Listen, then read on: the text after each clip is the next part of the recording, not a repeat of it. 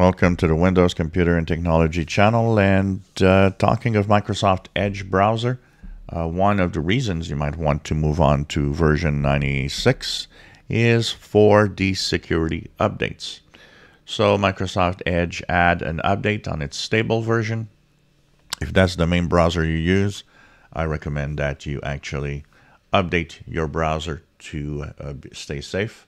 You do so by going on the upper right corner three dots, help and feedback about Microsoft Edge, and you should be at version 96.0.1054.29. Uh, that was released officially November 19th, but it was rolling out throughout the weekend and today.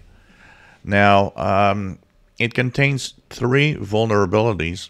One is for iOS. Uh, so if you use Edge on a uh, iOS device, that is uh, an iPad or an iPhone, uh, there's a iOS spoofing vulnerability in Edge. That is fixed. So on these devices, you should update Edge. For the rest, there is a spoofing vulnerability that is for all platforms, all versions. So uh, check it out. Microsoft Edge um, is, of course, has a security vulnerability on this, and uh, it is um, one of those updates or these exploitability that is um, not, you know, one of the biggest problems because it can't be really exploited from, you know, it's not a critical flaw or a zero day, but these are flaws you want to have fixed in the browser. And finally, there's also a uh, Microsoft Edge remote code execution vulnerability that was uh, discovered. And um, it's not publicly disclosed, it's not exploited in the wild, which of course lowers the uh, danger for now, but since they now are available and they are out, uh, and, and bad guys, hackers can now see what flaws were fixed. Of course, not updating your browser means you could be in at risk. So, update the uh, browser. Not a lot of fixes, but just enough that you need to uh, update it for sure.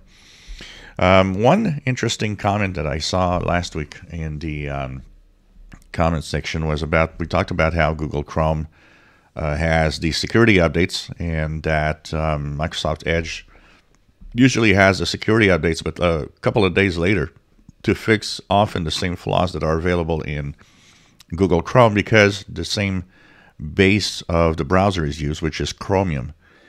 And um, the comment was about, you know, doesn't that make Microsoft Edge really kind of insecure because it, you know, takes a few days to update to those uh, to fix those security flaws.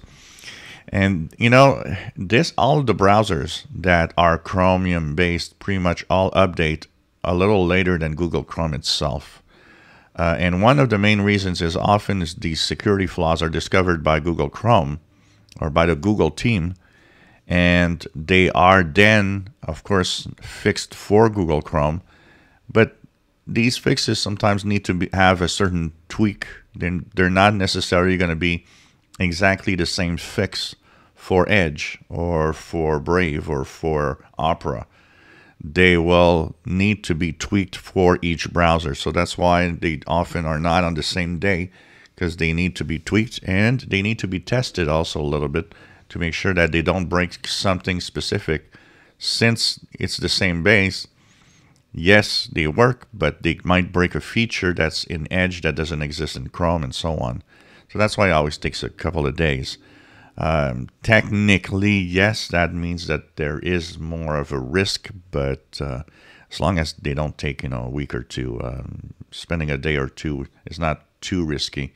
Um, and remember that the risk of these security flaws is really dependent on what you do on your computer.